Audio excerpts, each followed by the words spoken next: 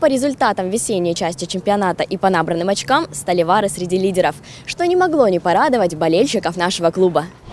Это довольно-таки симпатичная команда, они неплохо смотрятся. Ну, сразу, как-то, знаете, бросается в глаза, что команда выходит более организованно, более мотивирована.